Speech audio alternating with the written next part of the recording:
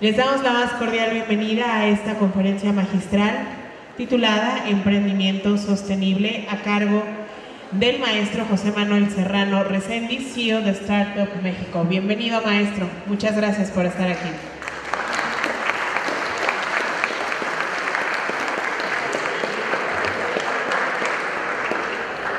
Saludamos también a nuestro secretario académico, al doctor José Humberto Arroyo Núñez. Muchas gracias, doctor. Él nos acompaña en representación de nuestro rector, el maestro Felipe Olimpo Durán Rocha.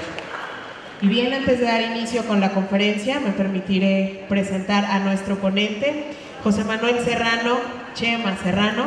Es un apasionado de la innovación y el emprendimiento con más de 18 años de experiencia en el ecosistema de México y Latinoamérica y socio director de Startup México. Lidera operaciones tanto a nivel nacional como internacional, impulsando iniciativas de vanguardia e innovación e inversión. Además de su rol en Startup México, ha dejado una marca indeleble en el mundo de las startups, siendo socio fundador de empresas como Taxme, John Bernardo y mí.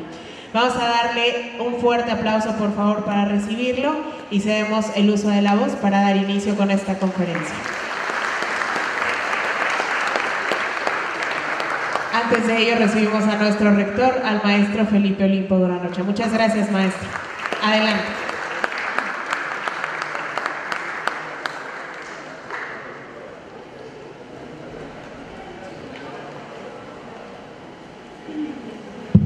Listo. Pues muchas gracias.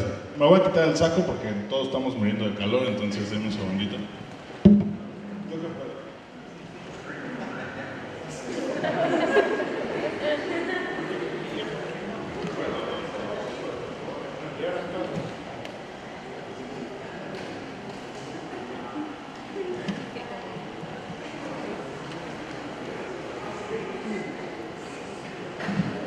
Listo.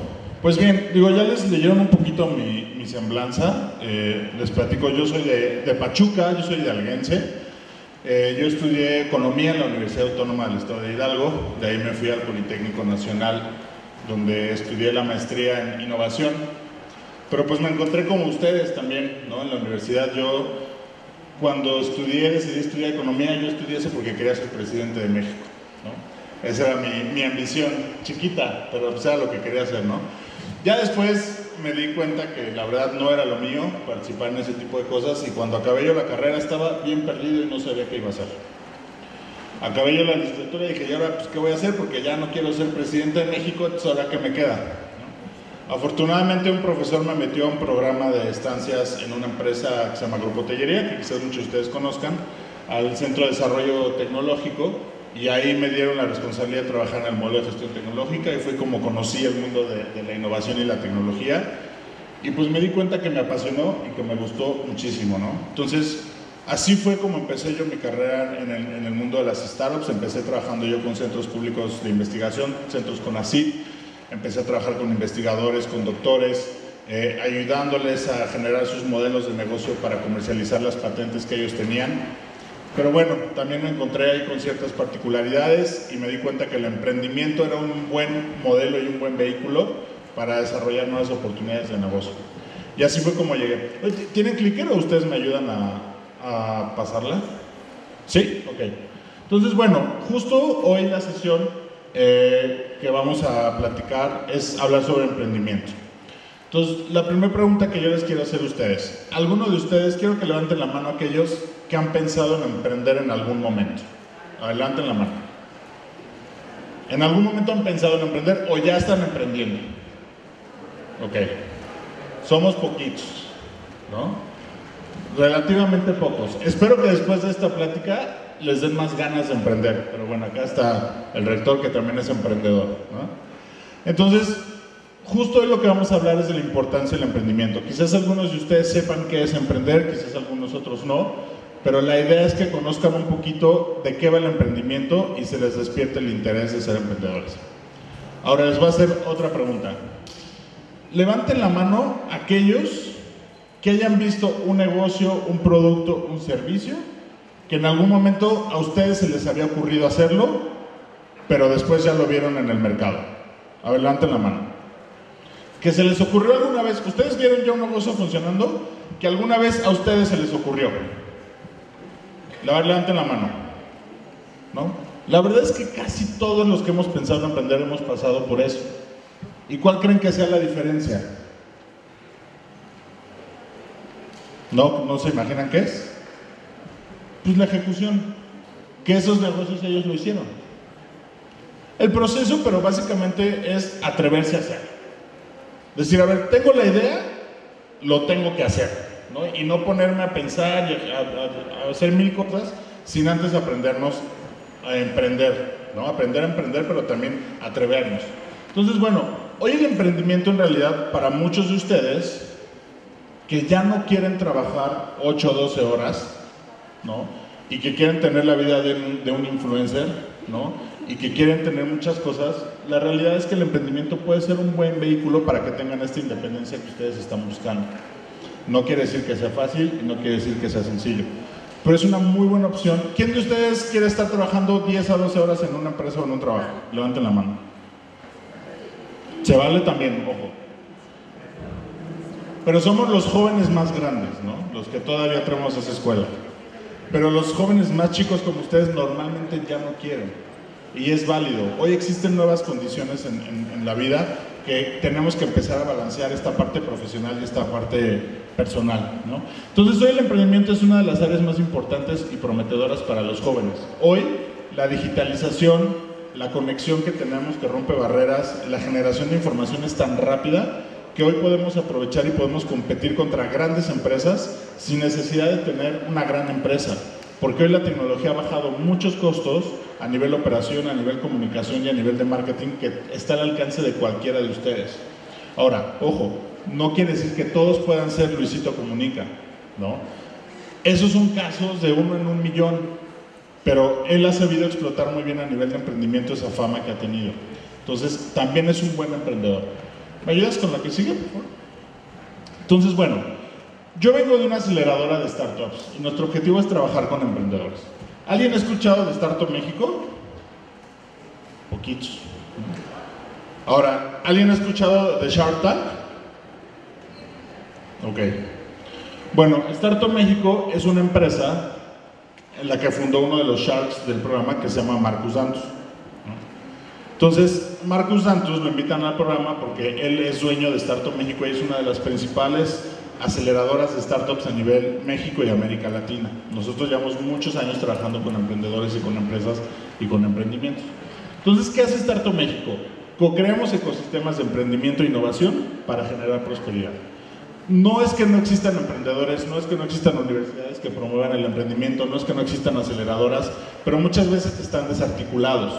Lo que nosotros hacemos es trabajar con estos organismos, con gobiernos, con universidades, y les ayudamos a empezar a articular este ecosistema que los ayude a ustedes como emprendedores a lograr sus objetivos de emprendimiento. La que sigue, por favor. ¿Cuál es nuestro ADN? Nosotros somos un motor de emprendimiento con una cultura de innovación para crear un ecosistema de negocios. Nosotros creemos que el emprendimiento puede transformar la vida de cualquier persona. Y digamos que eso es nuestro propósito en esencia. Nosotros sabemos que el emprender puede transformar la vida de cualquier persona en cualquier nivel socioeconómico, de cualquier lugar. ¿no? Y por eso creemos que es una herramienta muy poderosa para trabajar con los jóvenes y con los no tan jóvenes. ¿Por qué hablamos de una cultura de innovación? Porque hoy si nosotros no buscamos cómo ser diferentes, probablemente nuestro negocio no va a ser tan exitoso como nosotros quisiéramos. Y ahorita más adelante vamos a tocar ese punto. La que sigue, por favor. Bueno, hace ratito les platicaba, ¿no? Básicamente somos dos socios que estamos liderando hoy esta, esta organización.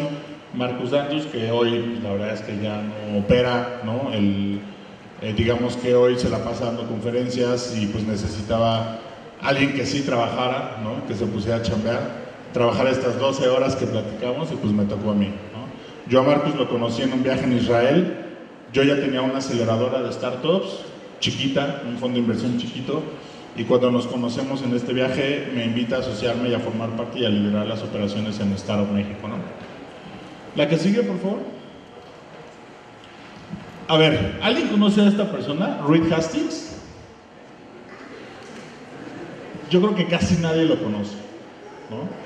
Pero yo les apuesto que todos o el 99.9% conoce su empresa. ¿Conoce Netflix? Eso sí va. Todos conocen Netflix. Fíjense que Reed Hastings, por ahí de 1997, renta una película en Blockbuster. Y se le olvida entregarla. Probablemente muchos de ustedes no ubican ni siquiera Blockbuster. ¿no? ¿Alguien se acuerda de Blockbuster? Ah, mira, creo que más de los que yo pensaba. Entonces, no sé si se acuerdan que cuando tú no entregabas una película era una fortuna en multas. Entonces le llegan una multa de 60 dólares y él se super indigna. Y dice, ¿cómo es posible que yo tenga que pagar 60 dólares por una película que ya vi y que además se me olvidó entregar? ¿no? Y desde ahí empieza él a pensar en cómo resolver este problema porque dice, yo no creo ser el único que tiene este problema. Yo no creo ser la única persona inconforme que consume este producto que esté inconforme con eso.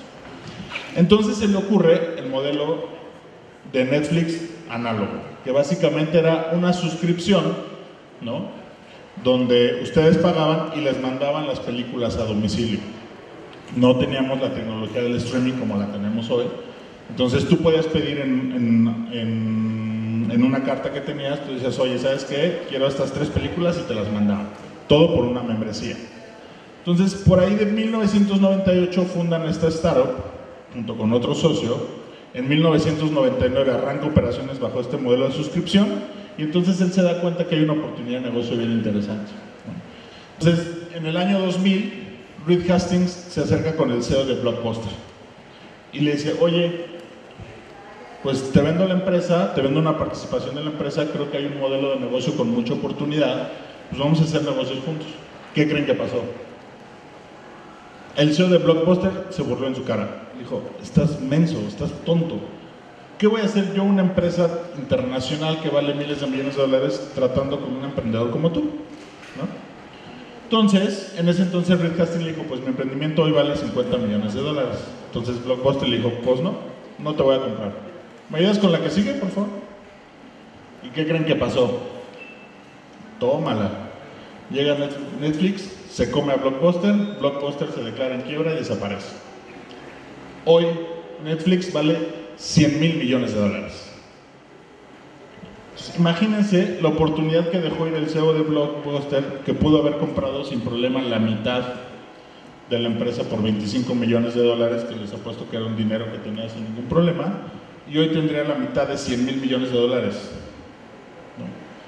Y ojo, esta historia la cuento para que se den cuenta que en realidad ni Reed Hastings tenía el dinero del mundo y empezó con una problemática que entendió que muchos lo tenían y pensó en una solución y tres años después él estaba ofreciendo su empresa en 50 millones de dólares y 27 años después vale 100 mil millones de dólares.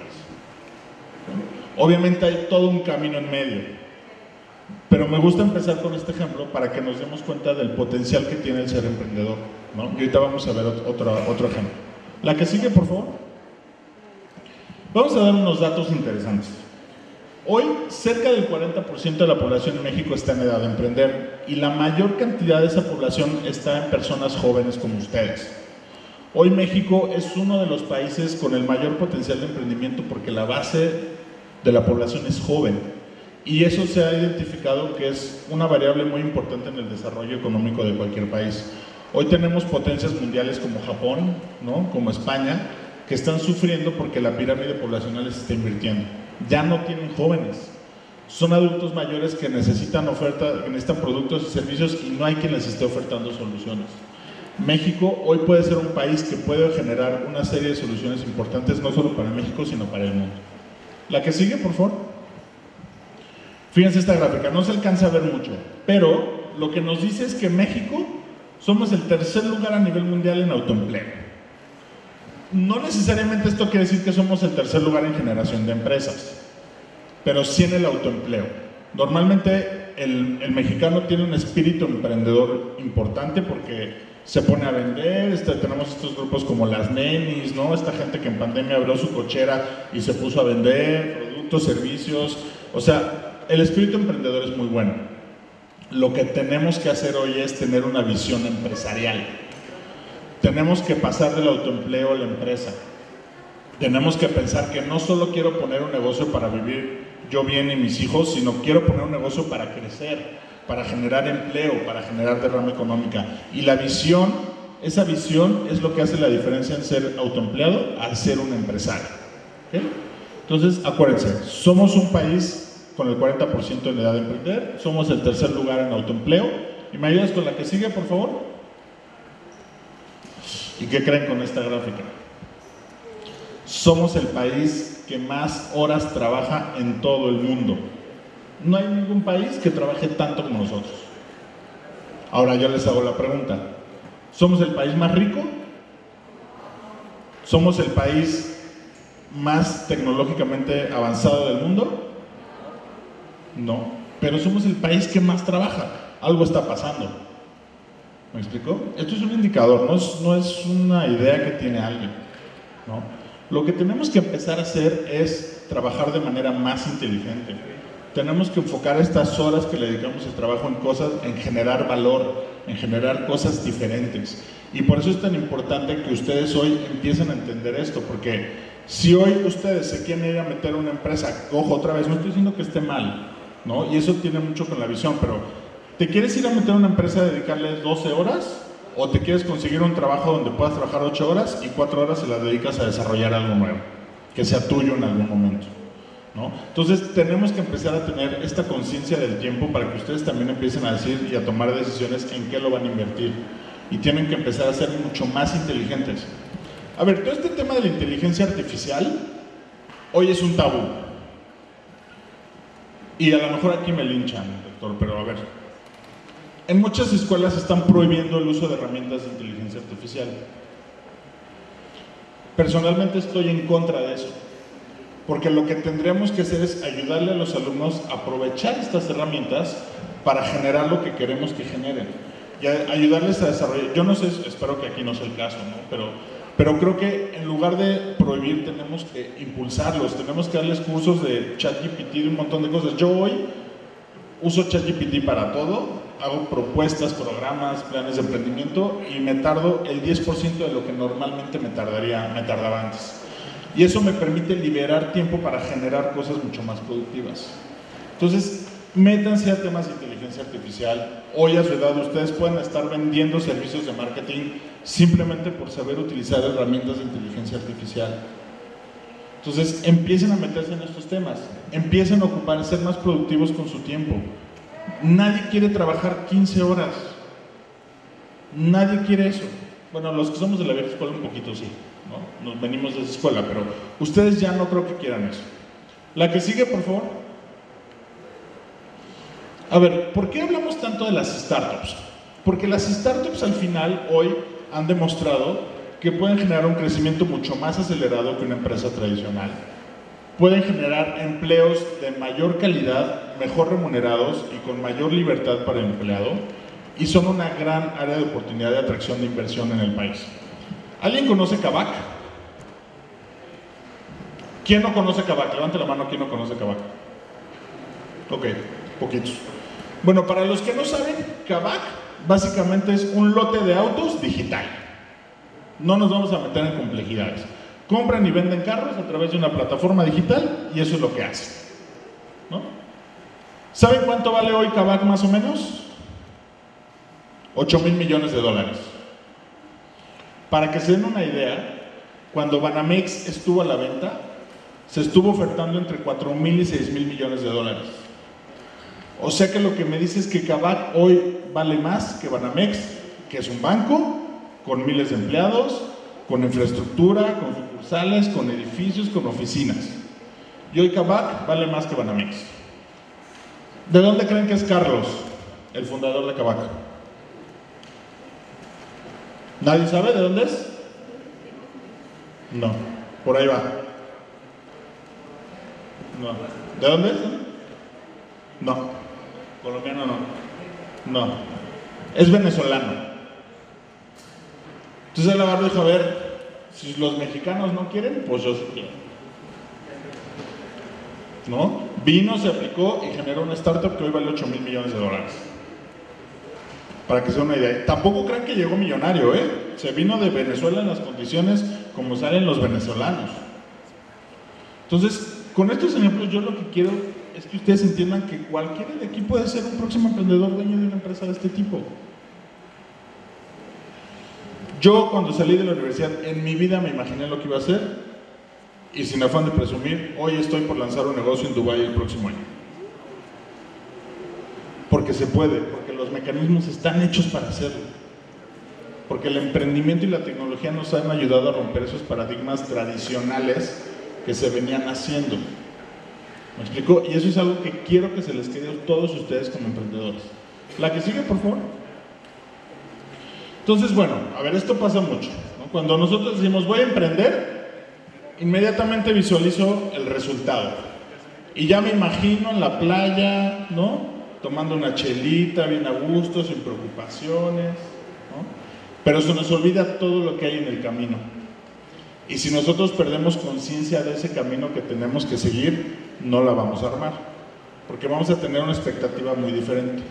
Acuérdense que el emprendedor es aquel que está dispuesto a sacrificar hoy lo que nadie quiere sacrificar para disfrutar mañana lo que muy pocos pueden hacer. Entonces, en realidad el emprendedor no es una carrera de 100 metros planos, el emprendimiento no es una carrera de 100 metros planos. El emprendimiento es un Spartan Race. Tenemos que sortear obstáculos, escalar, nadar, todo lo que se imagine.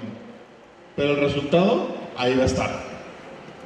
¿Me explico? Y el resultado son emprendimientos como este de Kavak, como este de Netflix y como muchos otros hoy que ya empiezan a existir en México. La que sigue, por favor. Si alguien tiene una pregunta o no entienden algo, con confianza me pueden preguntar. Es el chiste. A veces soy medio técnico, procuro explicarles, pero si de repente se me barre algo, por favor pregunten.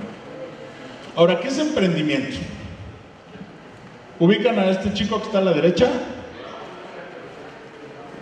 Javi Noble. ¿Se acuerdan de Javi Noble? O Chava Iglesias en Club de Cuervos, ¿no? Pero es muy parecido. Javi Noble era un, emprendedor y tenía unas ganas de emprender tremendas. ¿Se acuerdan de gasolinerías Vía y Pipa? ¿No? ¿Se acuerdan de la, de la Cuba más grande de México? ¿No? Eran ideas de él. Pero el emprendimiento en realidad hace referencia a dos cosas que son muy importantes. La actitud y la aptitud. Porque querer no es poder necesariamente. Querer es importante, pero para poder hay que prepararse y hay que tener las aptitudes para hacerlo. Porque básicamente lo que vamos a hacer es llevar a cabo un proyecto con ideas, detectando una oportunidad y asumiendo un riesgo. ¿Me explico? Entonces, si se acuerdan de Javi Noble, tenía muchas ganas, pero nomás no le salía nada. Y tenía lana, ¿eh? Para que vean que la lana no es todo. Tenía ganas y tenía dinero. ¿Qué no tenía? Conocimiento, no tenía aptitud, no tenía una realidad de necesidad de mercado. Porque lo que él creía que era una buena idea era porque él lo creía, no porque verdaderamente viera que allá afuera la gente lo iba a demandar. No, no lo iba a comprar. Entonces, ¿cuándo, ¿cuándo se vuelve un buen emprendedor Javi Noble? Hasta que se encuentra el compañero microbusero, ¿no? Y cuando, y cuando encuentran y, y tiene la visión y dice, oye, los microbuses aquí, ¿qué hacen? No, pues, oye, ese terrenote, ¿no? Entonces, encuentra una oportunidad de mercado real, ¿no? Se junta con quien le sabe, porque pues este microbusero de tantos años entendía el mercado, ¿no? Y se juntan las ganas con el poder, con la lana, y entonces se da a entender en la película que les va súper bien, ¿no? Pero este es un ejemplo donde podemos ver justamente que no solo querer es poder y no solo con dinero se pueden hacer las cosas. ¿no? Se necesitan de muchos factores y principalmente y el más importante es entender que hay una necesidad allá afuera que nadie está cubriendo y que yo tengo que generar una solución para cubrir esa necesidad. La que sigue, por favor.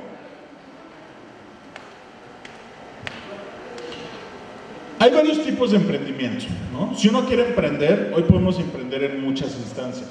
¿no? Hay muchas especializaciones. Las vamos a tocar de manera muy general. Tenemos los emprendimientos tradicionales, que son los restaurantes, las barberías, las tiendas de ropa, todo lo que conocemos hoy. No son malos estos emprendimientos. Nos ayudan también a emprender y a conocer cómo funciona el negocio. Pero si yo quiero que estos emprendimientos crezcan, si yo quiero que mi negocio se desarrolle, tengo que empezar a generar diferenciadores. Porque si hoy salimos y vemos las hamburguesas, los carritos de hot dogs, pues todos son iguales. De repente empezamos a ver el que empieza a meter un tipo de salchicha diferente, o te trata distinto, o el modelo de venta es distinto. ¿Conocen Bonais? Todos conocemos Bonais. ¿Qué vende Bonais? Congeladas. ¿Son colombianas? Ah, mira, fíjate, eso ya no sabías buen detalle. Pues mira, Bonais vende congeladas. Nada del otro mundo. ¿En dónde innovó Bonais? ¿En dónde creen que innovó Bonais? ¿Por qué le fue tan bien?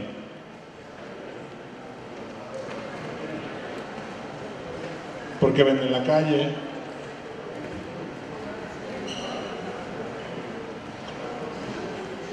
Exacto.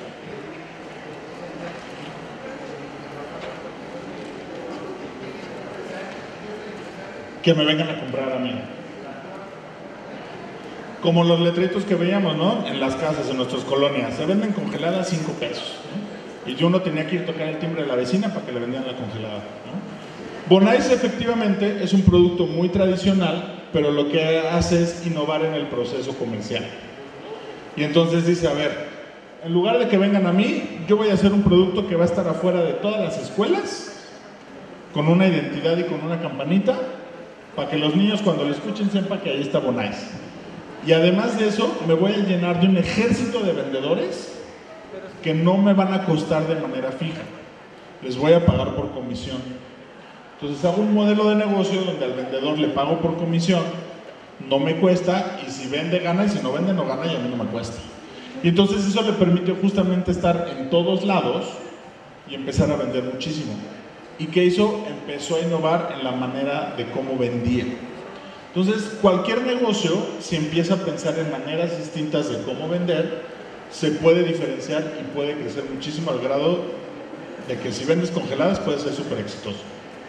Tenemos los emprendimientos de base tecnológica, que son estos emprendimientos cuando nosotros desarrollamos una tecnología tan compleja que no cualquiera la puede hacer.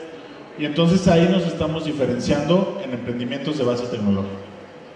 El emprendimiento naranja.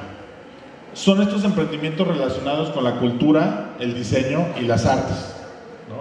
Todo el tema de videojuegos, todo el tema de música, teatro, cine. También ahí se puede emprender y también hay modelos de emprendimiento en, esta en, esta, en este segmento de emprendimiento.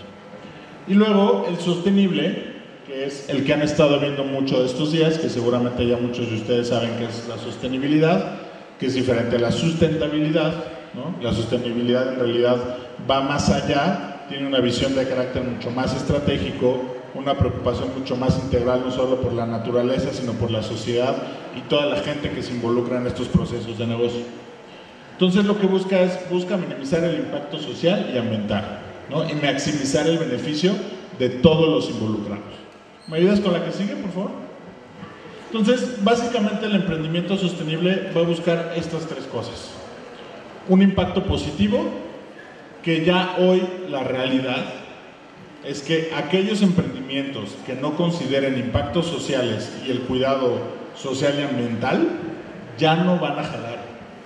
O sea, ya hoy si no tienes un emprendimiento tecnológico que considere esto, ya no va a jalar igual. Si no tienes un emprendimiento tradicional que considere esto, no va a jalar. Ya esto es un deber ser para cualquier tipo de emprendimiento. Ayer estaba yo evaluando proyectos para un fondo de inversión que les ayudó de repente a evaluar proyectos. Y una de las variables que calificaban era el impacto en temas de, sostenibilidad y le daban el 30% de peso de la evaluación. Entonces, yo vi proyectos súper buenos a nivel de negocio, pero al no tener este componente de sostenibilidad, ya no van a recibir inversión, porque salieron peor calificados que unos que sí lo tenían. Entonces, hoy ya no solo es solo un tema de emprendimiento en temas de sostenibilidad, sino ya debería ser un deber ser en todos los modelos de negocio que se empiezan a desarrollar. Las tendencias de, nuevos emprendimientos desde el futuro están relacionados con temas de alimentos, con temas de movilidad, con temas de transparencia, bienestar social, cuidado del agua, reciclado, economía circular. Hacia allá se está moviendo. Y aunque ocupemos inteligencia artificial, blockchain y todas estas tecnologías, debe estar considerado estos elementos. ¿Me ayudas a la que sigue, por favor? Estos son los tres pilares principales que debe contener un emprendimiento sostenible. El pilar social, ¿no? Debemos de cuidar el bienestar de la sociedad, la creación de empleos dignos, promover la inclusión y mejorar la calidad de vida de las comunidades. Hay empresas que lo único que se dedican, a ver, de repente nosotros creemos que va a llegar una gran empresa y la gran empresa dice, voy a ir a la comunidad tal, y entonces como voy a llegar y me voy a poner ahí, oye, pues ya les voy a dar empleos bien remunerados y les voy a abrir tiendas y les voy a hacer no sé qué. Y entonces la empresa cree que porque va a hacer eso la comunidad va a estar feliz. ¿Y qué creen? Que no es cierto. Porque en realidad no estamos entendiendo el impacto que estamos generando en la comunidad y no estamos entendiendo lo que la gente verdaderamente quiere en ese lugar. Hoy hay empresas que lo que hacen justamente es, antes de que estas grandes empresas se vayan a instalar estas comunidades, estas consultoras lo que hacen es van y platican con la gente de la comunidad y entienden qué es lo que puede ser un impacto positivo para ellos. Nosotros creemos que si les llevamos luz, internet y teléfono los vamos a hacer felices. Igual ni lo quieren, igual están felices así. ¿Me explico? Por eso es importante entender el tema del impacto y el impacto en las comunidades y en la calidad de la vida de las personas, porque no lo que nosotros nos hace bien les hace bien a todos, ¿eh? Y no lo que nosotros queremos lo quieren todos, y eso deben ser súper conscientes. El pilar ambiental nos está llevando el carajo. ¿no? Nos está llevando el carajo a nivel de clima, a nivel de todo lo que ya estamos viendo y lo que se está sabiendo. Tenemos que empezar a cuidar el tema del agua, el tema del reciclaje, el tema de los bosques. Todo esto ya es importante y es crítico en cualquier modelo de negocio. Y el pilar económico. Emprendimiento, por muy social que sea, si no genera ganancias, no va a sobrevivir y entonces va a ser una fundación. Y las fundaciones solo viven si la gente les regala dinero. Si no les regala dinero, no viven. Entonces, el emprendimiento, por muy social que sea, debe tener un modelo de negocio que le genere utilidad. ¿no?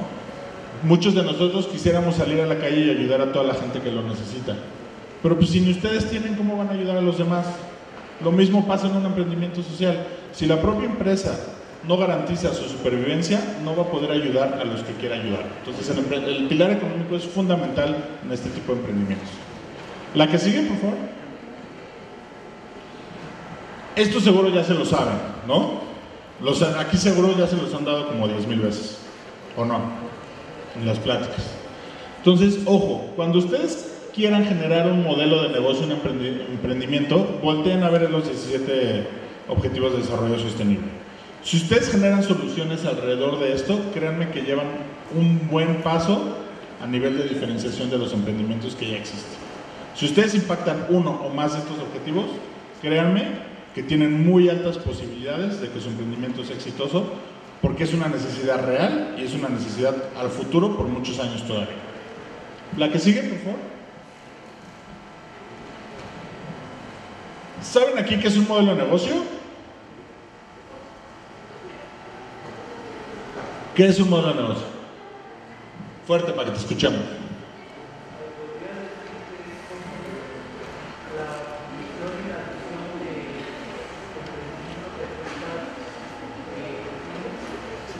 Por ahí, por ahí va. ¿Quién más?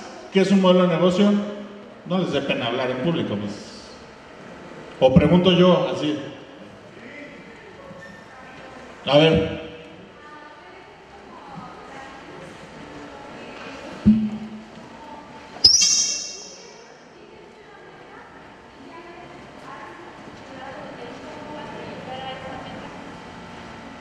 tiene está un poco relacionado a la misión y la visión, que tiene con planeación estratégica. Ajá. Y bueno, ya tienes como desglosado lo que vas a hacer para conseguir ese, ese negocio mediante de, eh, un plan de cómo lo vas a hacer. Ese es un plan de negocio. No es lo mismo modelo de negocio que plan de negocio. ¿Ok? Pero por ahí va. O sea, no estás mal, por ahí va. Tiene noción. ¿Quién más? De este lado, a ver, allá atrás.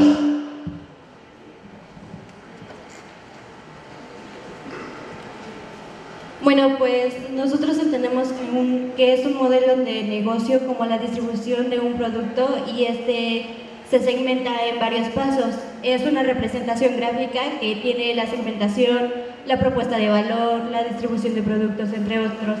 Es más como un plan para llegar hacia esos objetivos o metas que tenemos desde la empresa. Sí, por ahí va. A ver, para hacerlo muy sencillo, un modelo de negocio es lo que nos dice cómo vamos a ganar lana por hacer lo que hacemos. Así de fácil. Eso es un modelo de negocio. ¿Cómo yo genero dinero haciendo lo que quiero hacer? Y eso involucra el Business Model Canvas, ¿no? Que el Business Model Canvas es una metodología que inventó Alexander Osterwa- Osterwalder, un diseñador, y que justo lo que nos ayuda es a entender cómo voy a interactuar con todo lo que implica mi modelo de negocio. Ahora, el plan de negocio era algo que se ocupaba mucho antes. Ya no es algo que se ocupe tanto. Antes llegaban los emprendedores con un libro de como lo que traía el embajador ¿no? Así una cosa de este pelo. Y te decían, te decían, este es mi plan de negocio, te lo ponían en la mesa. Y entonces tú le decías, oye, estoy revisando tu plan de negocio, pero ¿qué crees que tu segmento de cliente ya no es ese? Y entonces, todo eso que traían se iba a la basura. Porque ya no servía. Porque todo estaba diseñado en función de ese segmento de cliente que yo tenía. Entonces, eso era muy desgastante para los emprendedores y los empresarios. Entonces, lo que se hace ahora es que se trabaja el modelo de negocio. Porque el modelo de negocio nos permite mapear de manera muy rápida estos cambios que podemos tener y para eso se ocupa esta metodología. Pero básicamente cuando nosotros trabajamos el modelo de negocio nos permite entender el modelo de negocio de manera clara y estructurada. Porque lo que nos va a incluir básicamente es segmento de cliente, mi cliente objetivo. Y luego la propuesta de valor, que la propuesta de valor es qué es lo que yo hago por lo que mi cliente que tengo acá me va a comprar, ¿no? Luego tengo los canales y cómo me relaciono con mi cliente. Luego tengo la manera en que voy a generar ingresos. Y del otro lado tengo los aliados clave con los que voy a trabajar, las actividades clave que tengo que hacer para hacer llegar mi propuesta de valor, ¿no? mis recursos clave que necesito para ejecutarlo y mi parte de costos. Esto en dos horas ustedes lo pueden bajar o hasta en una hora. Y lo pueden googlear y, y gratis, está en todos lados. Ponen Business Model Canvas y les van a salir un montón de contenidos gratis para que ustedes puedan empezar a bajar su modelo de negocio sin necesidad de hacer este plan de negocios que tenían que contratar los servicios de consultores de 50 a 100 mil pesos para que cuando llegaran con un inversionista y les dijera que no, se fuera a la basura. ¿no? El modelo de negocio lo que nos permite es comunicar la propuesta de valor de manera clara, nos permite identificar nuevas oportunidades de negocio que puedo tener yo con los clientes que ya tengo y me permite adaptarme muy rápido al cambio. ¿no? Yo de hoy a mañana puedo cambiar mi modelo de negocio así. Y una, una de las definiciones de las startups, justamente, por definición una startup es una entidad que está buscando un modelo de negocio adecuado hasta que lo encuentre. En el momento que una startup encuentre el modelo de negocio, tiene que convertirse en una empresa y tiene que estructurarse como una empresa. ¿Está aquí preguntas, dudas? ¿No? ¿Vamos bien? Va. ¿La que sigue? Ahora, ¿han escuchado este tema del ecosistema emprendedor? ¿Alguna vez? Bueno, cuando estamos en el medio como yo, se habla, no, hay el ecosistema emprendedor y el ecosistema emprendedor. Bueno, pues ¿quién fregados es el ecosistema emprendedor? Básicamente el ecosistema emprendedor son todas estas personas y estas entidades que están ahí para ayudarnos como emprendedores. A veces el camino del emprendedor es muy solitario porque no sabemos con quién ir a tocar puerta. Porque a veces a la gente que más tenemos cerca es la gente que más nos, más nos desmotiva. ¿no? no, ya deja de perder el tiempo, nomás estás tirando tu dinero, deja de hacer tonterías, ponte a trabajar. ¿no? Y ese bombardeo constantemente llega en muchas, a muchos emprendedores. Pero porque no saben que existe este, este ecosistema que nos van a ayudar a llevar nuestros emprendimientos hacia adelante. Entonces tenemos estas instituciones como gobierno, universidades y organizaciones. Aquí sabían que tienen un modelo de emprendimiento y una incubadora que les puede ayudar. ¿Todos lo saben? Bueno, eso me da gusto. Qué bueno que lo saben. ¿Cuántos se han acercado a esta incubadora? Bueno, entonces es el siguiente paso. Primero saberlo y después es acercarnos hacia ellos. ¿no? Y no solo está la universidad, ¿no? También gobierno tiene programas, hay incubadoras allá afuera, como nosotros, con, con las que ustedes se pueden acercar. Después tenemos los emprendedores, que básicamente es el talento. ¿Y por qué forman parte del ecosistema? Porque está demostrado que aquellos emprendimientos que tienen más de que tienen entre dos y cuatro socios, tienden a ser más exitosos que aquellos que son de un solo fundador. Y es obvio, ¿no? Entre mayor perfiles y mayor diversidad de habilidades, hay más posibilidades de éxito de cualquier negocio. Entonces también los emprendedores se tienen que acercar a otros emprendedores. Las aceleradoras, como Startup México, somos empresas que ayudamos a emprendedores que ya se incubaron, pero necesitan dar el siguiente paso. Entonces, ustedes también tienen que identificar en qué etapa se encuentran para poder acercarse a estas instituciones. Los mentores, ojo aquí, ustedes se pueden acercar a empresarios, a personas expertas en ciertos temas, a personas que los puedan orientar. Si ustedes están haciendo un emprendimiento en tecnología, pero no son tecnólogos, pues acérquense a algún profesor a algún ingeniero que les pueda ayudar con ciertos temas. Acérquense a empresarios. Esos son los mentores, gente que les puede ayudar sobre cosas que ustedes no saben y que ya tengan la experiencia de haber vivido algo que ustedes apenas van a vivir. Y hasta arriba tenemos los inversionistas, ¿no? Los que le van a meter lana a esto. Pero ojo, el inversionista no le va a meter lana a sus proyectos si ustedes no los tienen bien estructurados y bien bajados. ¿no? A veces creemos que nuestra idea es la mejor del mundo, queremos llegar con el inversionista y creen que por estar ahí les van a dar dinero. No es cierto. Ustedes tienen que trabajar muy bien sus proyectos para que el inversionista les pueda soltar el billete. La que sigue, por favor. ¿Alguien ha escuchado de los unicornios? Pero no de los animalitos. ¿No? De las empresas unicornio. ¿Alguien ¿Sabe qué es una empresa unicornio? ¿Sí sabes? ¿Qué, sabes de qué es una empresa unicornio?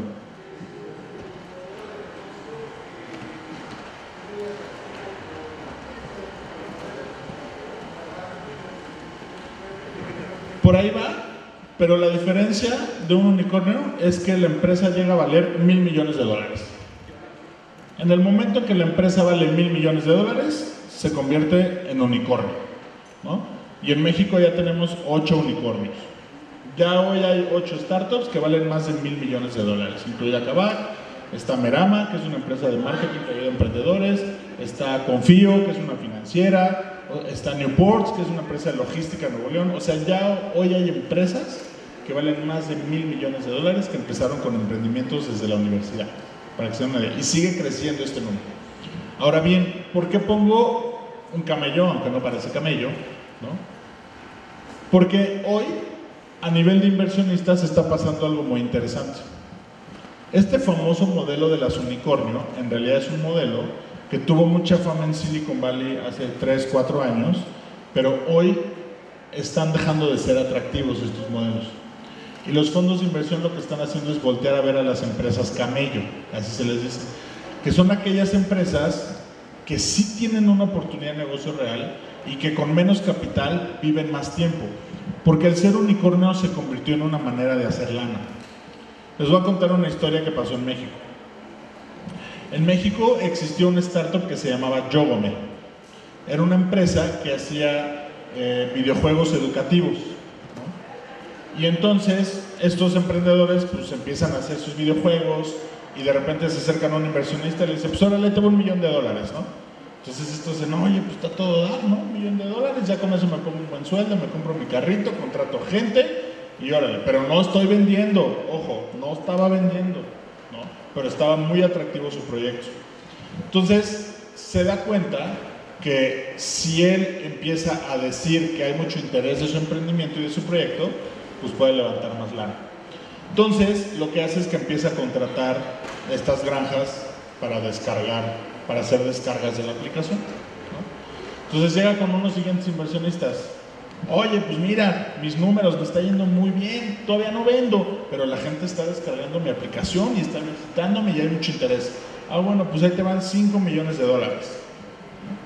Y entonces dice, no, pues ya, de aquí soy, ya vi cómo hago lana. Mi modelo de negocio no es vender mis juegos educativos, mi modelo de negocio es decir que soy muy bueno y que los fondos de inversión me estén dando más lana cada vez. Y entonces, en lugar de comprar descargas, él monta su propia granja y empieza a simular mucho más fama. Entonces llega con otro fondo y le dice, órale, ahí te van 27 millones de dólares. Y entonces este dice, no, pues ya, de aquí soy. Pero pues una inversión de 27 millones de dólares, pues ya te empiezan a pedir. Yo, diría que desde el millón de dólares, pero bueno, los fondos son muy grandotes y son inversiones chiquitas. Entonces, en una fiesta, ¿no? Que hacen con los inversionistas, pues a uno que se le pasan las copas, empieza como a decir, no, pues fíjate que las maquillamos las cifras y no sé qué. Y entonces el inversionista dice, ¿cómo? Entonces buscan a los fundadores y los citan a una reunión el siguiente día y ¿qué creen que pasó? Pues no se presentaron ni se pelaron. ¿no? Cerraron las puertas de Yogom en Guadalajara y estos emprendedores se fugaron y hasta la fecha siguen por ahí bailando todavía con la lana. ¿Por qué pasó esto? Y esto es un ejemplo de muchos. Porque la realidad es que muchos emprendedores pensaron que el modelo de negocio no era hacer su negocio, sino venderle su idea a los inversionistas cada vez más cara para recibir más lana. ¿Quién no va a estar a gusto recibiendo un millón de dólares hoy, cinco en un año y 27 en año y medio? Digo, todos quisiéramos eso. ¿no? Pero lo que hacen justamente hoy las empresas camello es que tienen que demostrar que verdaderamente generan dinero por lo que dicen que hacen. ¿no? Hoy Kavak está en un tema, porque Kavak hoy tiene edificios llenos de carros usados estacionados que cada día pierden su valor. Y entonces tú dices, oye Kavak, ¿estás vendiendo 8 mil millones de dólares? No, no estoy vendiendo. ¿Y por qué vales 8 mil millones de dólares? Ah, porque los fondos me invirtieron y dicen que por mi evaluación pues eso valgo pero no estoy generando 8 mil millones de dólares.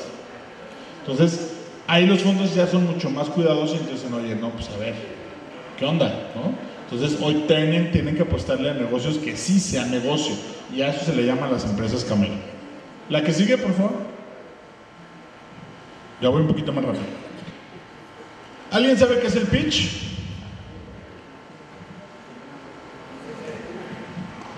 Pues básicamente tienes un minuto eh, para poder eh, expresar de qué es lo que se trata tu proyecto, tu servicio o tu producto para que de alguna manera sea vendible. Perfectamente. Justo, el, el, el, pitch es básicamente es una presentación breve y persuasiva. Se definió mucho en el modelo de elevator pitch un minuto, ¿no? Porque lo que decían es, oye, ¿qué pasa si te encuentras un inversionista en el elevador? Tienes un minuto para explicarle lo que haces y para qué quieres la lana, para encantarlo. ¿no? Y de ahí viene el concepto del elevator pitch en un minuto. Pero el pitch en realidad lo que tenemos que hacer es una presentación breve y persuasiva, diseñada para describir de manera comprensible y atractiva una idea de negocio o producto. Y está destinado a generar interés. Ojo, un gran error que cometen los emprendedores es que quieren venir a platicarnos su proyecto y los tengo 40 minutos explicándome mil cosas. Y es como, a ver, no, compadre. Un pitch es para que me diga, yo diga, a ver, esto suena bueno. Como el compañero de Marruecos, perdón. Era más fácil, perdón que lo diga, era más fácil haber transmitido el video que decía mucho el video, tenía unos datos increíbles, de verdad, su presentación estaba perfecta, pero de, pero de alguna manera, pues estuvimos aquí casi hora y media escuchándolo. Sí, no, pero bueno, ese es un ejemplo de que lo que no se debe y que tenía la presentación. No, 100%. De hecho, uno de los grandes errores que cometen los emprendedores es leer sus presentaciones. Una presentación es una guía para que yo no me pierda y les explique lo que les quiero explicar. Pero al final debo de generar interés, no debo de contarte todo. El interés es para que después me des la oportunidad y me des el espacio. A ver, yo como inversionista no voy a ser experto en la tecnología que traes en el negocio, en la industria. No voy a hacerlo. A mí me interesa que sea business, que me genere lana. Y entonces, si yo veo que sí tiene posibilidad de generar dinero, pues me traeré a los especialistas que me tengan que traer para que te pregunten y vean si es cierto lo que me dices. Pero no me lo quieran decir a mí. A mí me tienen que despertar con un interés. Y el pitch lo que busca es eso, que ustedes despierten el interés Ahora, puede ser un inversionista, puede ser un cliente. ¿no? Ustedes están vendiendo, imagínense que se tardan 50 minutos en vender un producto, qué hueva, nadie los va a escuchar. En dos minutos tienen que saber vender su producto. Para que después digan, no, ahora sí, dime más, mándame la información, búscame, agendamos una reunión. ¿Me explico? Ese es el objetivo de un pitch. Y también busque, es más, ChatGPT, pregúntenle cómo hacer un pitch, díganle su idea y que les ayude a estructurar un pitch y se los va a hacer. Ahora, eso es el contenido, que puede ser muy bueno, pero si no lo saben presentar, si no lo saben explicar, tampoco va a jalar. ¿Ok? Entonces, ¿por qué hablamos del pitch? Porque el pitch es el vehículo que me va a ayudar a presentar mi modelo de negocio. Entonces ya vimos que es el modelo de negocio, la importancia del modelo de negocio y ahora es la importancia de comunicar el modelo de negocio. La que sigue, por favor. Entonces, el poder del pitch básicamente me va a ayudar a validar ideas, ¿no? A que si yo tengo una idea vaya y la platique a las personas y las personas me digan, oye, sí está padre, oye, ¿sabes qué? No, yo no compraría eso, oye, es que está muy claro, ¿por qué no le haces así? ¿Por qué no le quitas? ¿Por qué no le pones? Entonces, en la medida en que yo pueda explicar una idea que yo tengo de manera clara, voy a recibir retroalimentación que me va a ayudar a mejorar esa idea. Me va a permitir atraer talento si yo quiero invitar a personas a que trabajen conmigo, tengo que hacerles un buen pitch y tengo que explicarles lo que quiero hacer. Alianzas estratégicas. Quiero hacer aliados, tengo que convencerlos por qué les ayudo y por qué me ayudan. Venta. Pichar para vender es importante y es fundamental. ¿No? Si no sabemos transmitir lo que damos de valor por lo que estamos pidiendo de dinero, nadie nos va a comprar. Y para conseguir lana, ¿no? como todo el mundo sabemos el pitch de inversión, como el programa Shark Tank. La que sigue, por favor. Ya vamos a cerrar con esta última parte que para mí es fundamental y aquí sí necesito que me pongan atención todos, que se despierten tantito, yo sé que el calor está cañón, pero créanme que esto es lo más importante en cualquier emprendimiento y es algo que se los decimos todo el tiempo a los emprendedores. Quiero que me levanten la mano aquí los que se consideren creativos. Ahora quiero que me levanten la mano los que no se consideren creativos. Los que no. Fuerte, hasta arriba. Sin pena. Ok. Eso pasa porque no tenemos claro el concepto de creatividad y normalmente lo confundimos con otros temas. ¿Me ayudas con la que sigue, por favor? Esta es la, definición de creatividad. La creatividad básicamente es la habilidad para generar ideas que nos permitan resolver problemas. Eso es la creatividad. Yo tengo una bronca, ¿cómo la resuelvo? Y puede ser de negocio, puede ser de proceso, puede ser de operación, puede ser con el novio, con la novia, con el papá, en la chamba, lo que sea. Si se me poncha una llanta, si... Nosotros, nuestro cerebro inmediatamente siempre ve la forma de resolver un problema. Lo que pasa es que a veces somos medio perezosos y no nos gusta pensar y no nos gusta llevar más allá nuestro proceso creativo y buscar alternativas distintas a problemas que ya conocemos. Y eso es uno de los grandes problemas de los emprendedores. Los emprendedores se, conocen con la, se quedan con las soluciones obvias y al no llevar más allá el proceso creativo, entonces pues salen a vender lo mismo que vende cualquier persona. Salen a vender lo mismo que venden otros empresarios. Porque no dicen, oye, este problema, ¿de qué otra manera lo puedo resolver? ¿No? Que haga mucho mejor sentido. Acuérdense que un problema tiene muchas soluciones, pero no necesariamente todas son las mejores, ni todas son las más adecuadas. Entonces acuérdense, la creatividad es la capacidad que tenemos todos para resolver problemas. Entonces, ahora sí, ¿quiénes son creativos? ¿No? ¿No, no resuelven problemas ustedes? ¿No? Ah, mira, no tiene lana, anda pensando cómo resolver el problema. Entonces, la verdad es que todos tenemos la capacidad de ser creativos, pero no todos somos conscientes de que lo podemos hacer. Y es uno de los temas más críticos en el emprendimiento. No hay soluciones creativas a problemas existentes. Y si nosotros no generamos ese tipo de soluciones, pues vamos a hacer un emprendimiento, un negocio más del montón. Y no queremos eso. ¿Me ayudas con la que sigue, por favor? Ahora, la creatividad es importante porque la creatividad es el primer paso para llegar a la innovación. La innovación es algo que todo el tiempo estamos diciendo, oye, hay que innovar, hay que ser innovadores, innovación, innovación. Todo el mundo trae la palabra innovación en la boca. Todo el mundo. Pero la realidad es que no todo el mundo entendemos cómo innovar. Y la creatividad es un paso fundamental en la innovación, porque la innovación es hacer las cosas diferentes a como ya se hacen. Hacer las cosas mejores a como ya se hacen. Y la creatividad lo que nos ayuda es justamente a, resolver de manera distinta problemas que ya existen o problemas nuevos. Entonces, la innovación inicia con el desafío de creencias personales y modelos mentales. ¿A qué voy con esto? Si nosotros no somos completamente abiertos a saber que lo que yo creo que es un problema no necesariamente es un problema, y lo que tengo que hacer es pensar en el problema que tiene el mercado que le quiero vender, un problema que tengo yo, también me voy a atorar y vamos a verlo con este ejemplo. ¿Me ayudas con la que sigue, por favor? Ah, no, todavía no, nos engañé. Les voy a platicar de este estudio muy rápido. No se alcanza ¿Le podrás subir con el mouse? ¿Le puedes subir para ver un poquito abajo los, los valores?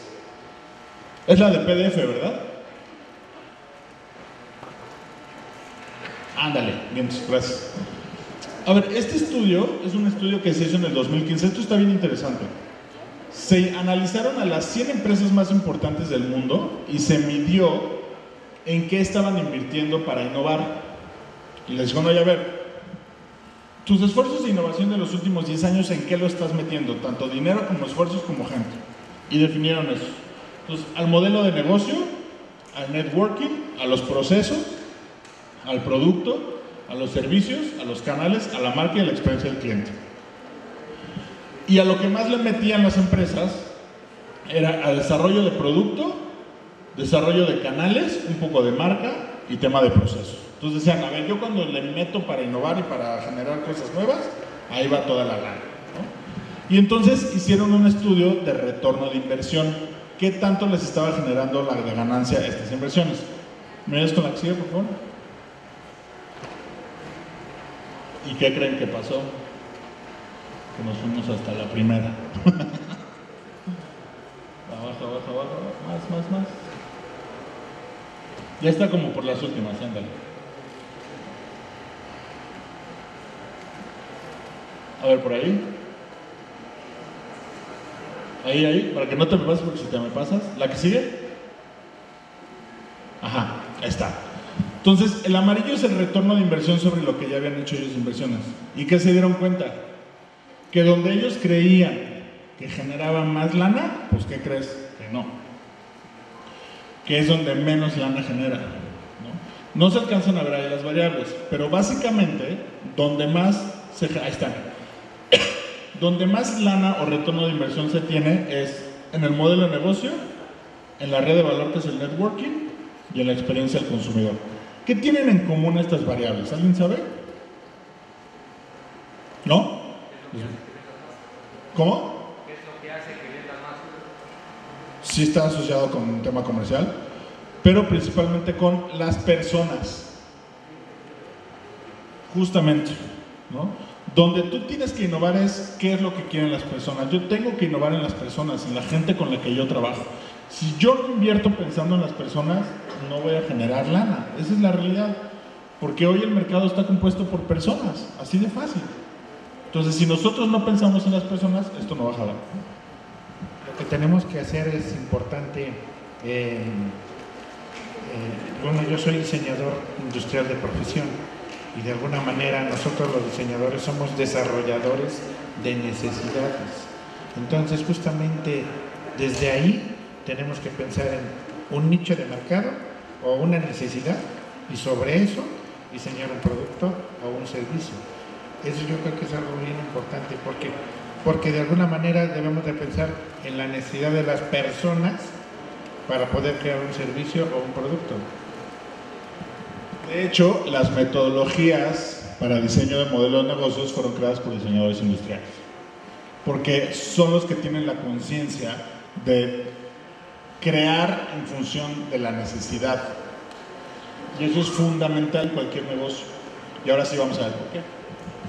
Perdón, en esa parte, abonando al comentario, nosotros los diseñadores industriales debemos de tener tres factores fundamentales para poder tener desarrollar un producto, que tiene que ser funcional, constructible y, que sea y que se vea bonito. O sea, que tenga esas partes, ¿no? Y ahora en el diseño estratégico, ahora abona muchas más cosas. Esos tres, más la comercialización y la mercadotecnia. Ahí están los pasos para aprender. De verdad, o sea, por eso estas herramientas fueron diseñadas o creadas por diseñadores industriales, porque existe esa conciencia, ¿no? No fueron por economistas como yo, no fueron por financieros, fueron por diseñadores industriales con una visión de negocio, ¿no? Y es importante. ¿Me ayudas a la que sigue, por favor? Tenemos esta confusión, ¿no? De creatividad e innovación. La, creatividad, como ya lo dijimos, es la habilidad para resolver un problema. La innovación es la aplicación de una solución con un enfoque comercial. Entonces, la primera, pues alguien creativo, ¿no? Se quedó sin estéreo en su carro y pues ahí se las ingenió y le puso su grabadorcito. Ahora, yo les hago esta pregunta. ¿Comprarían eso? Pues no, a lo mejor uno que otro ahí despistado sí lo compra, ¿no? Pues la realidad es que eso tiene una buena solución creativa para un problema que tuvo esa persona, pero eso no va a escalar y no va a ser una oportunidad de negocio. Por el otro lado tenemos el jetpack. El inventor es mexicano, ¿no? Y hoy esto se ha convertido en un negociazo, porque no solo tiene aplicaciones eh, en temas de la industria de diversión, entretenimiento, sino también ya tiene aplicaciones industriales en la construcción, en el monitoreo y un montón de cosas. Y aquí radica la diferencia de lo que es creatividad y lo que es innovación. ¿no? La creatividad puede resolver el problema personal o de poquitos. La innovación es un- una, una solución para un número importante de personas que son una oportunidad de negocio. Y eso ténganlo claro. No porque ustedes tengan una ocurrencia quiere decir que va a ser negocio. Lo que tienen que hacer es validar allá afuera si lo que ustedes creen que es una buena solución, salgan y pregunten si verdaderamente hay mucha gente que se los compraría. Y ese es el primer paso que tenemos que hacer para emprender. La que sigue, por favor. A ver aquí. Quiero que me digan lo que se les ocurre, díganlo al aire. ¿Qué necesita esa persona? Ropa, ¿qué más? Fuerte. Teléfono. Una mochila. Una Alexa. Un MP3. ¿Qué más? Un celular. ¿Qué más? Audífonos. ¿Qué más? ¿Cómo? Comi- comida. ¿Qué más? Dinero. ¿Qué más? ¿Mandé?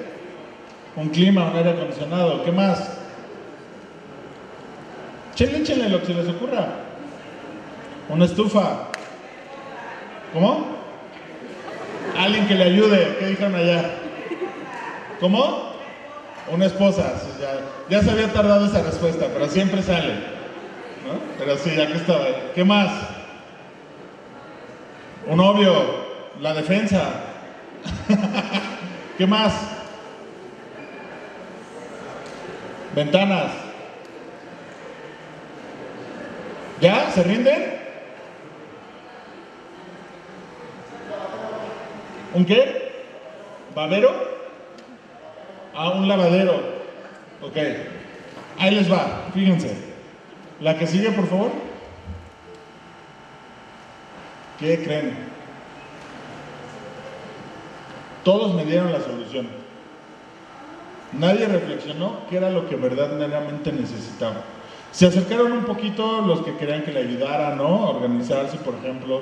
La esposa, pues por ahí iba, ¿no? O sea, pero esas ideas normalmente salieron ya que empezamos a agotar las soluciones obvias, ¿no? Normalmente me dicen ropa, babero, eh, iPod, iPhone, Alexa, porque estamos pensando inmediatamente en la solución, pero no estamos entendiendo la necesidad. Y eso es uno de los grandes problemas que tenemos hoy los emprendedores. Vemos un problema y decimos, esta es la solución, por ahí va. Y en realidad no estamos analizando el problema de fondo que estamos percibiendo. Por eso decimos que la innovación empieza con el desafío de paradigmas y creencias personales, porque lo que yo creo está condicionado por mis experiencias, pero no necesariamente quiere decir que eso lo vivo en un universo allá afuera. ¿Me explico? Entonces lo que tenemos que hacer es darnos un momento para reflexionar cuál es la necesidad real. Imagínense que yo le llevo una camisa y estamos a 45 grados. ¿Me la va a comprar? No me la va a comprar. Porque al final ni siquiera estoy entendiendo la necesidad que le quiero resolver. ¿Me ayudas con la que sigue? Por favor, ya estamos cerrando, ¿eh? Entonces, hoy la manera, la cultura dominante para hacer negocios funciona de esta manera. Tengo una idea y como yo creo que es la mejor idea del mundo, inmediatamente me pongo a producir, me pongo a ejecutar y salgo a vender. ¿Y qué creen? Que cuando llego al mercado nadie me la compra. O bien poquitos me la compran. O me cuesta un chorro de trabajo vender porque en realidad no validé, no salí a preguntar si lo, la idea que yo tenía era una buena idea, no salí a investigar si lo que yo iba a hacer verdaderamente me lo iban a comprar. Y así es como funcionan hoy la mayoría de los negocios. ¿Me ayudas con la que sigue, por favor? Lo que se hace hoy en emprendimiento se ocupa una metodología de design thinking hecha por diseñadores industriales que justamente lo que me dice es, a ver, tienes que detectar la necesidad, tienes que entender la necesidad. ¿Cómo voy a entender la necesidad? Pues vas a observar, vas a entrevistar, vas a preguntar. Tienes que ir con la gente para la que quieres hacer la solución. Y esa información o ese contacto lo que va a hacer es que te va a dar insights. Los insights no son más que pistas y elementos de información que a mí me van dando a entender por dónde va la necesidad. Y entonces, ya que tengo esa información y esos insights, ahora sí genero una solución basada con esa información y esa retroalimentación del mercado. Y entonces, ahora sí, salgo al mercado, pero no todavía con los millones de productos. Salgo con un prototipo a validar si verdaderamente le atiné o no le atiné o voy por buen camino. La metodología Lean Startup, que es una metodología diseñada para emprendedores, se rige bajo la filosofía de equivócate rápido y equivócate barato. Por lo, porque lo que te dice es que constantemente tenemos que estar iterando con el mercado. Tengo que estarle preguntando constantemente si lo que estoy haciendo le gusta o me lo compra. Para que yo rápido me dé cuenta de lo que no quiere y no haya invertido mucho dinero hasta que llegue lo que sí quiere y entonces sí me lo compre. Entonces justamente lo que busca el design thinking es entender este proceso. Y ya que validé y que ya encontré que sí es lo que quiere el mercado, pues entonces ahora sí me salgo a producir y me salgo a vender. ¿Y saben el esfuerzo que me va a costar vender eso que ya validé, que ya investigué que ya me dijeron que se quiere? Mucho menor que el que tengo por no pasar este tipo de procesos. Me va a salir mucho más barato vender, voy a generar mucho mayores ingresos y entonces mi emprendimiento va a ser mucho más exitoso porque escuché al mercado y porque diseñé una solución pensando en lo que el mercado quiere. Y esto de verdad no lo pierdan de vista. Cualquier negocio, cualquier propuesta, si quieren negociar con su profe para que les dé la tarde libre, piensen qué necesidad le pueden resolver y cómo pueden negociar. Si quieren vender, si quieren negociar con sus papás, de verdad, en todo está la creatividad y en todo está el qué le puedo dar de valor para recibir lo que yo quiero. ¿Ok? La que sigue, por favor. Entonces quiero que se queden con esto. Porque la innovación es interacción con los usuarios. Si nosotros no interactuamos con el mercado y no interactuamos con los usuarios, no va a haber empatía y no vamos a entender qué es lo que quieren. Si nosotros no entendemos qué es lo que quieren y no los escuchamos, no vamos a tener estas pistas que me van a ayudar a saber qué le puedo vender.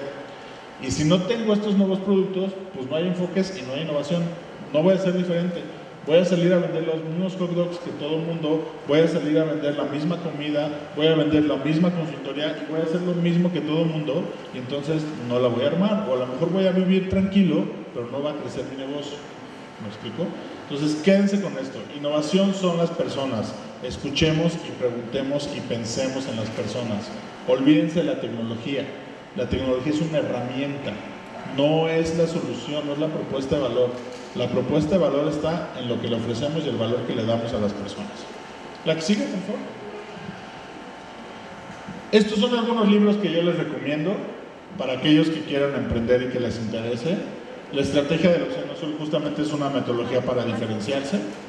El Business Model Canvas es este libro que les digo de Alexander Osterwalder, que justamente nos permite, nos ayuda a definir nuestro modelo de negocio. El método Lean Startup, la metodología que yo les decía, ¿no? que es equivócate rápido y equivócate barato a través de prototipos. Eh, la disciplina de emprender es una metodología del MIT para emprendimientos de base tecnológica, chulada también del libro, que yo les recomiendo. Y este libro de Andrés Oppenheimer, que es un tema mucho más de cultura, ¿no? para que entiendan el tema de creatividad. Hay algo bien, pues no sé si triste o interesante en ese libro, ¿no? Porque al final Andrés lo que hace es viaja por el mundo, por el mundo y lo que empieza es a conocer el tema de innovación y la creatividad a nivel global. Y él dice que al final hay una teoría que dice que la creatividad está distribuida de manera equitativa en todo el mundo. La diferencia es el contexto y las condiciones lo que detonan innovaciones o no innovaciones. ¿no? Pero hay algo que dice, que dice, ¿todo el mundo cree, eh, cree en los mexicanos? O sea, ¿todo el mundo cree que los mexicanos la van a romper? Menos los mexicanos. Una persona que viajó por todo el mundo y entrevistó a expertos, a políticos, a empresarios, todo el mundo dijo, mexicano tiene para romperla. Y llega a México y le dice, no, pues los mexicanos no la vamos a hacer. Entonces, esto se los dejo y con esto cierro para que reflexionen sobre esto que platicamos hoy. Quizás fue mucho contenido. De todas maneras, ¿me ayudas con la que sigue, por favor? Aquí les dejo mi QR. Esta presentación en un ratito más la voy a habilitar. La dejo normalmente, la dejo un par de semanas para aquellos que la quieran consultar este, a través de mi QR. Pero otra vez chicos, de verdad, lo que quiero que entiendan es que emprender es atreverse y emprender es de entender. Entendamos el mercado, entendamos el cliente y atrevámonos a ejecutar para llevarle esa propuesta de valor. Muchas gracias.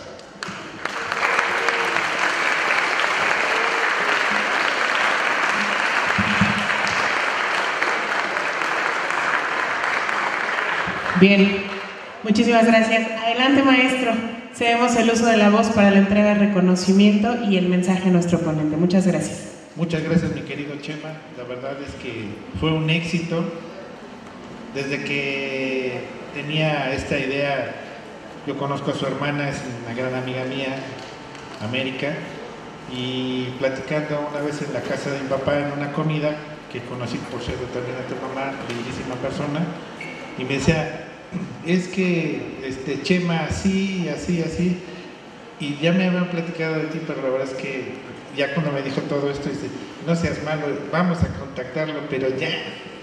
Y en eso me pasó tu teléfono y nos estuvimos en contacto y agradecido de verdad de, que hayas aceptado esta invitación. Creo que nos vamos con, con grandes ideas, la verdad es que sí. Nos ampliaste el panorama mucho mucho, necesitábamos esa, esa parte, pero este tipo de pláticas así, que es la que necesitamos, ¿no? No cuadradas, con una dinámica, con un lenguaje muy normal, y, pero que, que, nos dejen algo de verdad para todos y cada uno de nosotros, ¿no? Yo me llevo muchas ideas, la verdad, porque pues yo también vendo, en ese sentido vendo mucho, trato de vender la universidad, trato de vender todos los servicios que tenemos, y ideas justamente a raíz de necesidades justamente que tenemos. Entonces, de verdad, muchas gracias por estar aquí y por el tiempo que nos dedicaste el día de hoy. Me voy a permitir entregar un reconocimiento que a la letra dice así, la Universidad Politécnica de Tulancingo otorga el presente reconocimiento al maestro José Manuel Serrano Reséndiz por haber impartido la conferencia Emprendimiento Sostenible a la comunidad universitaria de esta Casa de Estudios en el marco del 22 aniversario de la UPT. Muchísimas felicidades, muchas gracias. Y un pequeño obsequio, igual espero que te guste, viene ahí el kit, el kit este, del regalo 22, que te guste mucho, muchísimas gracias.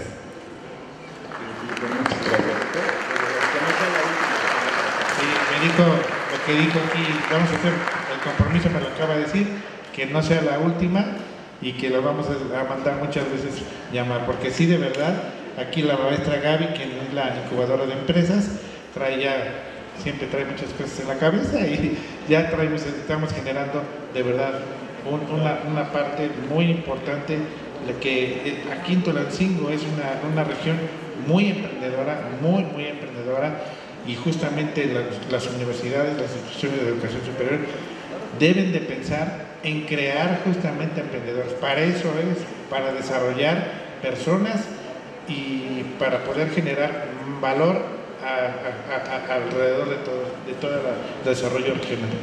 Muchas gracias.